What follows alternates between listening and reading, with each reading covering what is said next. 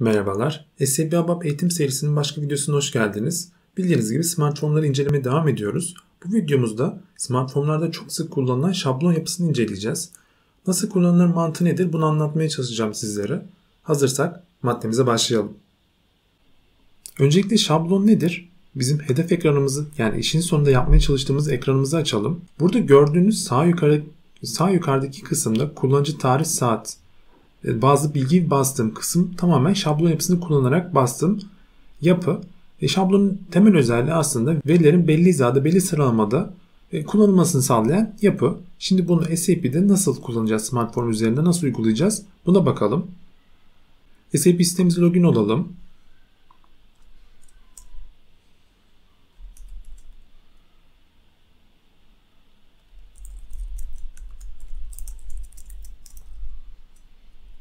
Devam ettiğimiz smartphone programımız vardı. Onu açalım. Değiştirle giriyorum. Bir önceki videoda başlamıştık buna. Şimdi ne dedik? Sağ yukarıda kullanıcı tarih saat bilgisinin tutulduğu yapı vardı. Şimdi ben öncelikle onun için bir pencere oluşturacağım.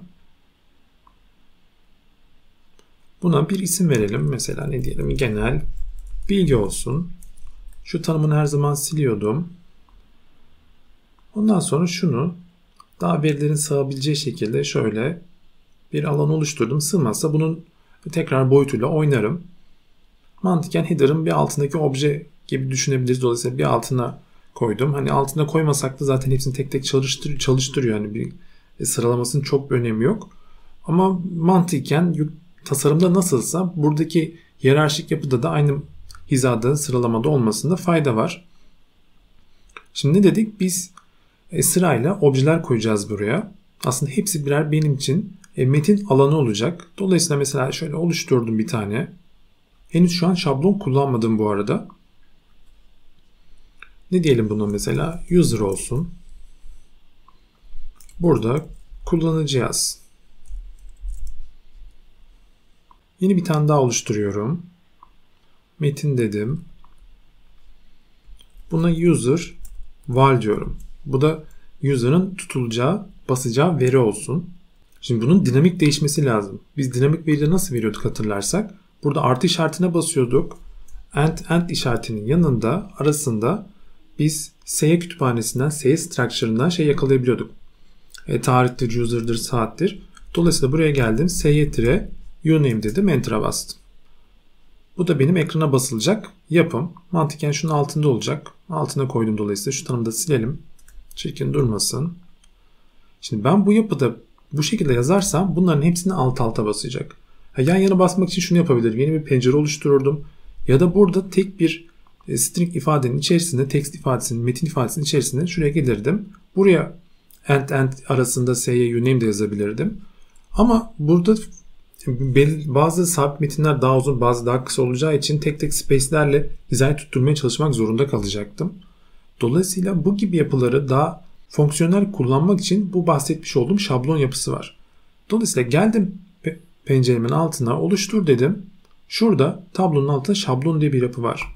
Buna tıkladım. Bana böyle bir ekran açtı. Burada şablonun kaç hücreden kaç satırdan oluşacağını tanımlayacağım. Şurada çıktı seçenekleri ve tablo e, koşullar kısmını zaten neredeyse her objede var demiştik ve az çok aşinasınız. Kısmen ilerleyen videolarda derinlemesini inceleyeceğiz. O yüzden şimdi şablon kısmına odaklanalım. Burada C1 diye bir alan oluşturdu bana. Ve üstüne kalemle şöyle şu şekilde gördüğünüz gibi çizebiliyorum.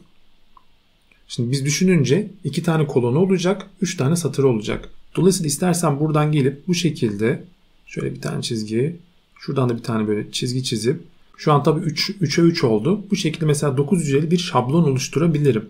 Ya da şuradan ayrıntıları seçip buradan oluşturmak daha kolay bu arada.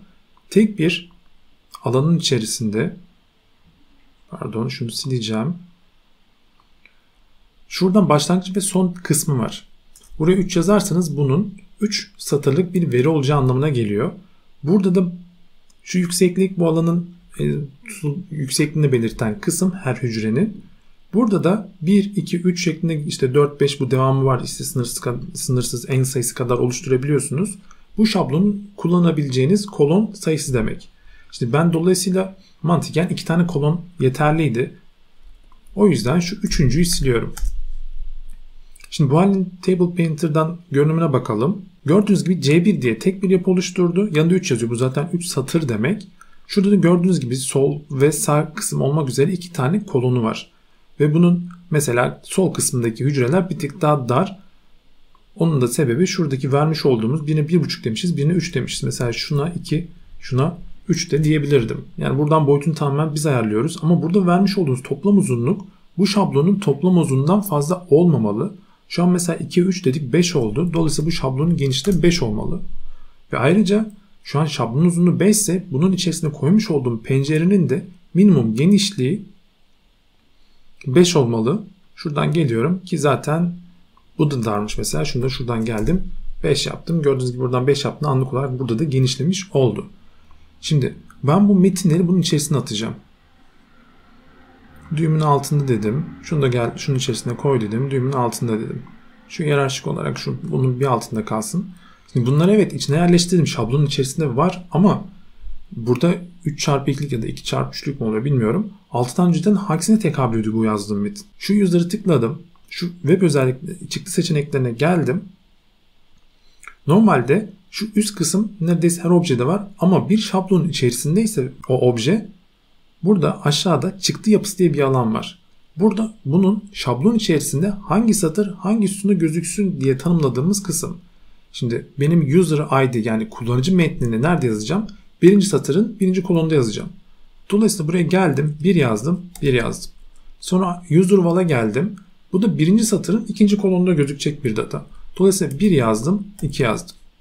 Aktif ediyorum. Normalde şablon kullanmasaydım bu datalar alt alta yazacaktı. Ama bu şekilde bakalım şimdi çalıştırıp görelim.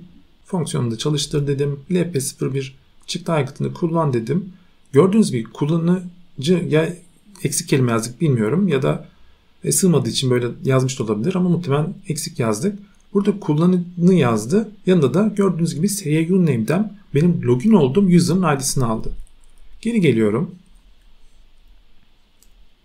Bir daha geri geldim. Şuna bakayım yanlış mı yazmışız. Gene özellikler dedim. Kullanıcı demişiz aslında. Muhtemelen sığmadığı için oldu. Dolayısıyla bunu genişletelim. Mesela baya büyük verelim. Bir daha bu dar e, sığmama koşulda uğraşmayalım. 4'e 4 8 oldu. Dolayısıyla bunu da genişliğini 8 yaptım. Hemen geliyorum. Penceremin de genişliğini 8 yapıyorum. Şu şekilde biraz sağ kaydıralım. Dışında kalmamalı. Zaten bu çok yüksek ihtimalle hata verecektir. Şöyle birazcık header'ın altında olsun. Şeyde yukarı kaydıralım biraz. Şimdi bu hale tekrar çalıştırıyorum. LP01 dedim. Yazdırma öngörün dedim. Gördüğünüz gibi kullanıcı yazdı ve yanında da benim e, verimi bu şekilde basmış oldu. Şimdi aynı mantıkla tarih ve saati de ekleyelim. Geri geldim, geri geldim, tekrar geri geldim ve şu template'imi bastım. Metin dedim. Bu da ne benim için? Tarih olacak. Dolayısıyla date yazdım. Şunu sildim. Genel özelliklere geldim. Buraya tarih yazdım. Çıktı seçeneklerine geliyorum. Bu da benim ikinci satırın birinci kolonunda olacak bir data. Bir daha geldim. Oluştur dedim. Metin dedim. Date val dedim. Value'su tarzında. Yine özelliklere geldim. Burada ne yazacak? Dinamik bir alan, alan olacağı için artıya bastım. End end dedim. S'ye datum dedim. Enter'a bastım. Çıktı seçeneklere geldim. Bu da ikinci satırın ikinci sütununda olacak. Şunu da bir, bir, yer, bir yandan da aşağıya atalım. Hizamızı bozmasın. Yeni bir tane daha oluşturuyorum. Metin dedim. Bu da benim için time olacak. Tarih e, saat verisini tuttuğum yapı. Time dedim. Buraya geldim. Saat yazdım. Çıktı seçeneklerine geldim. Bu da benim için nedir? Üçüncü satırın birinci kolonu olacak. Yeni bir tane daha oluştur dedim. Metin dedim. Bu da benim için ne dedik? Time var olacak dedik. Şu tanımını sildim. Genel özelliklere geldim. Dinamik veri. Dolayısıyla buraya geldim. End end işaretinin içerisinde s'ye yüzey ekledim. Şunu da aşağıya attım. Şunu da time date altında olsun. Evet çıktı. 3'e 3 vermiş miydik? Bunu unutmayalım. Boş kalırsa vermeyecek, basmayacak. İsterseniz bunu boş bırakalım. Saati basamadığını da görelim hatta. Aktif ettim bu halde. Çalıştırdım. Çalıştır dedim. Çalıştır dedim. LP01 çıktı. Aygıtını seçtim. Gördüğünüz gibi benim vermiş olduğum satır sütun bazında verilerimi bastı. Mesela bu SY yüzey datasını ben herhangi bir satır sütun verisi vermediğim için bunu nereye basacağını bilemedik ki zaten gördüğünüz gibi basmadı. Normalde bir şablonun altında olmasaydı bir pencerenin altında olsaydı ne demiştik? Alt alta basıyordu tüm veriyi. Ama burada bir şablon içerisinde olduğu için her zaman bir satır sütun verisi istiyor. Dolayısıyla onu basamadı. Geri geldim. Hemen ona da o bilgiyi verelim. E, çıktı seçenekleri doğru yerdeymişiz. Bu da ne, ne olacak? Üçüncü satırın ikinci kolon olacak. Aktif ettim. Çalıştırdım. LP01 çıktı icon seçip yazdım öngörüm dediğimde gördüğünüz saat verisi de istediğim şekilde gelmiş oldu. Burada tabii ki şeylere dikkat etmeniz lazım. Tekrar altını çizeyim. Eğer yeni bir veri basmak isterseniz onun sığabileceği burada ayrıntılara geldim. Ya satır ya da burada kolon verisini arttırmanız lazım. Ben buraya girdim yeni bir sayısal ifade bu gidecek. Üçüncü kolon verisi varmış gibi davranacak. Ve bunların toplam genişliği buranın şablonun toplam genişliğinden daha büyük olmamalı. Ayrıca içerisinde bulunan pencerede şablonun genişliğinden daha dar olmamalı. Bunların yani içe, en içerisindeki obje bir üstteki objeden illaki eşit olmalı ya da bir küçük olmalı mantığını e, dikkat edin. Çünkü bunlar hata alınca bazen çözmesi e, zor oluyor. Ki buradaki yüksekliği biz arttırırsak bu e, satırlar arasındaki verilerin boşluklarını da arttırmış olacak. Bir önceki tasarım hatırlıyor musunuz bilmiyorum ama mesela geldim buraya. Şunu bir hayli arttıralım. Mesela 9 diyelim. Bakalım şeyin e, şablon ve template'in daha doğrusu pencerenin geniş yüksekliğini aşmazsa daha geniş bir ifadede basmış olmasını bekliyorum. LP01 dedim. Yazdım öngörü dedim. Çok yüksek ihtimalle bir önceki tasarımda burası daha dardı. Ben yüksekliği arttırdığım için her bir satırın yüksekliğini arttırmış oldum ve aradaki boşluklar da dolayısıyla bu şekilde fazla olmuş oldu. Geri geldim. Onu eski haline çevirelim. 6 küsür bir şeydi diye hatırlıyorum.